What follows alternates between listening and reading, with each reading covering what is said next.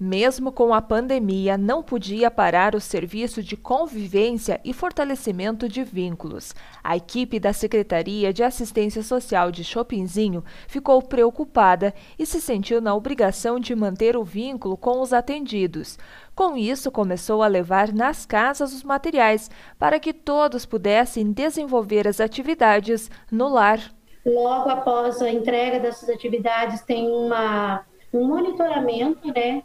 Dos professores, dos orientadores, e eles aceitaram assim, um, foi muita a aceitação das famílias foi bem legal, tanto das crianças, adolescentes como dos idosos.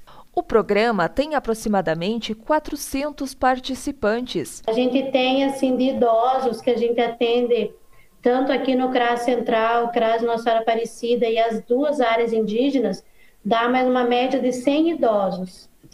Uhum. E crianças e adolescentes, a gente tem assim uma média de umas 260 entre criança e adolescente que a gente atende, tanto aqui como nas duas áreas indígenas também. Os materiais são entregues a cada 15 dias. Um exemplo do artesanato.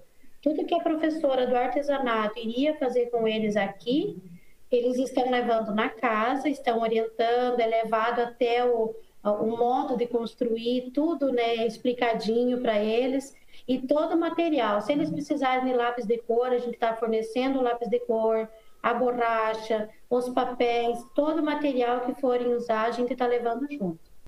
A entrega dos kits é realizada com segurança pela equipe e seguindo as normas da saúde. A gente está indo com orientações da saúde, com máscara, luva, né? E mantém o distanciamento, não é, é, eles não entram na residência, eles atendem a pessoa, a família lá fora, explicam. Continuam em funcionamento todos os programas desenvolvidos para as famílias pela Secretaria Municipal de Assistência Social de Chopinzinho. A gente tem outros programas também, né, que a gente já está fazendo essas atividades à distância, monitoradas pelo WhatsApp, por telefone, porque assim é, não tem como ficar sem uma, uma atividade, uma ligação com a gente nesse período, né? Uhum. Infelizmente, enquanto durar a pandemia, a gente vai ter que seguir nesse, nesse ritmo, né? nesse alinhamento.